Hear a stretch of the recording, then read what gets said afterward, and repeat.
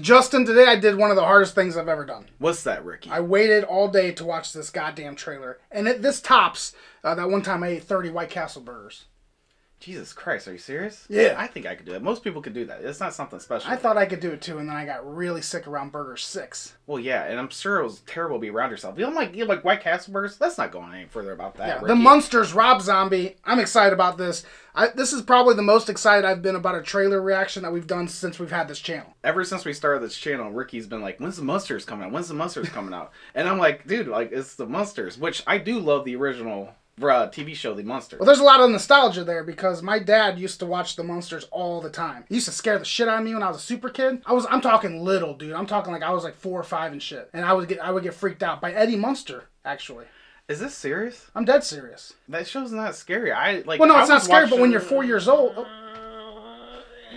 like Nightmare on Elm Street shit, I would watch and stuff like that I'm when I was like four too. or five years old. Yeah, no, Munsters is awesome, and I wonder if there's like an Addams Family versus Munsters thing, because it's pretty similar. Like there's Star Wars versus Star Trek, you know? yeah, yeah. I don't know. But I prefer the Munsters over the Addams Family. That's why I'm never excited about Addams Family stuff comes out. But when I hear hear this, I'm like, hell yeah! Now the guy directing it, we'll get to after the video or after the reaction. But Well, don't put those on yet. I have a lot of questions. I know that Rob Zombie is a huge Munsters fan. He's said it on many occasions, and you can see it in some of his movies. I mean, he has a couple Munster elements in House of Thousand Corpses, actually. Actually, the grandpa's upstairs watching the damn show. So you know he's a Munsters fan, so you, I, I trust him to do it justice and do it right. But at the same time, he wrote the movie. It could go either way, dude. it's very odd that he chose to do this movie, which he did choose to do this movie. It's not like anybody was like, hey, let's make a Munsters movie. And Rob Zombie's like, I want to make a Munsters he was movie. trying to make this movie for a long time. And considering his style and his movies, I just don't know if it's a good mashup. But we'll see after we watch the trailer. I do think he's going to keep in the same vein as the original Munsters. I don't think he's to go dark with it or crazy with it. His dialogue does scare me though, but we shall see.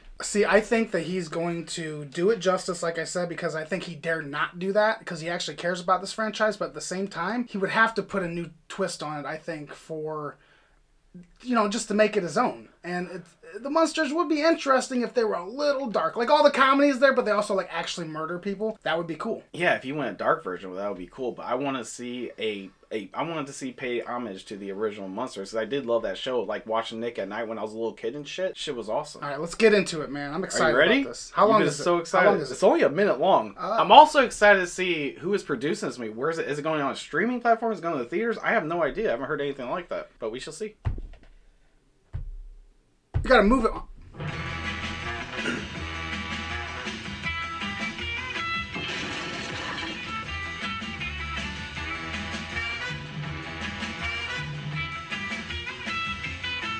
Who could that be? This is like shot for shot the actual intro to the show. Like every movement they're making, I think.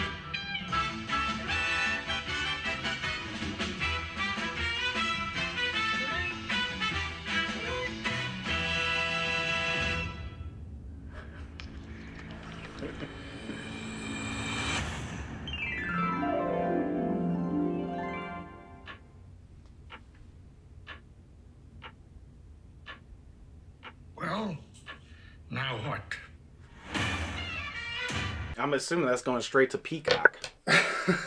no, I'm serious. Okay, so it was basically a shot for shot remake of the original intro. But there was Eddie Eddie Munster wasn't in it, and uh, I think her name was Marion or Lillian, one of the two. I don't remember. I'll say the guy they got to take over Fred Gwynne's Herman Munster is uh scare me a bit. Yeah, and also when we were watching this, Sheri Moon Zombie was scaring me a little bit too.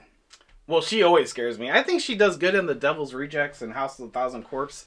She gets a little annoying at times there, but she was not that great. I think she was the worst part of his Halloween movies. Uh, she was good in Lords of Salem. Yeah, I was not.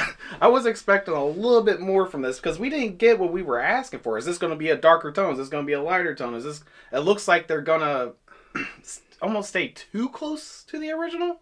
Yeah, yeah, no, I. This is giving me vibes that it's going to be a lot like the original.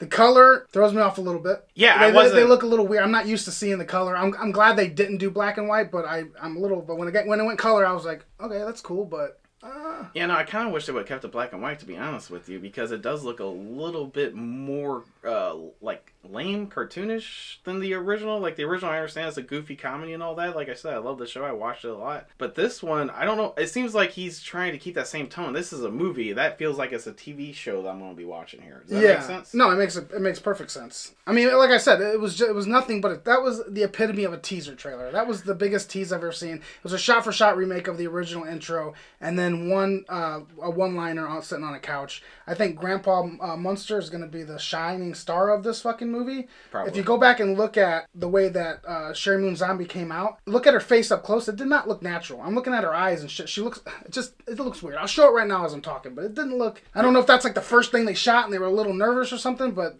and Herman Munster when he came out, he looked came out looking like a goofball too. It seems like I, I could tell with the the new guy playing Herman Munster is looking like he's like doing a like actually doing.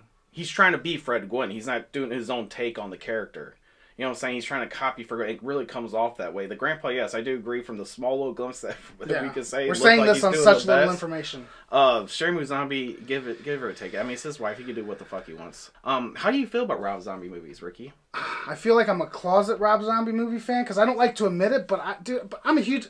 Before I was even into movies, I was a huge Rob Zombie fan, just in general with his music. So I, you know, Yes. then when I was younger, I saw House of Thousand Corpses, and I was like in love with that movie. Devil's Rejects came out. I'm like, I'm on board. There's a couple movies of his I haven't even seen, like that Salem Witch. Lords of called? Lords of Salem. Salem. I haven't even seen Probably the only one you haven't seen. Yeah, it is. Uh, but I do like his movies and uh, more than a lot of people do. I think. I I think he catches a lot of uh, grief for it. But I do agree with everyone when they say his writing and dialogue is the worst part about his uh, directing and movie making. I agree with that 100%. But I'm kind of a Rob Zombie fan through and through. Yeah, I get excited every time he has a new project coming out. I think he's a fantastic visual director. I really do. But yeah, his dialogue is fucking cringeworthy. It works for the Devil's Rejects and the House of a Thousand Corpse. It works for the Firefly family. Family. That's it. Yeah, it doesn't work for the Halloween movies and most of his other stuff too. But I'm always excited for some reason to see him come out, and it's not the first time you guys will hear this. If somebody else wrote Rob Zombie's movies and he directed them, that'd be a match made in heaven. Because I really do think that this dude has talent as a director, and I love him as an artist. Of course, that's why everybody loves him. But yeah, this right here, I just don't know if him, if he fits as much as he loves the monsters, which I do believe he does if his style fits what that movie needs to be. You know what I'm saying? Like I just don't Based see on it. based on the teaser we've seen, I'm having a little bit more faith in that being a reality than before. I disagree. I, this felt like like a like I'm watching like a school stage play production. Like it I don't think it was meant to be anything else other than seeing the characters again. Yes, fair, Getting but that I'm- that sight back. I'm sure that first shot is the title sequence of the original Munsters, right? The opening credits of the original Munsters.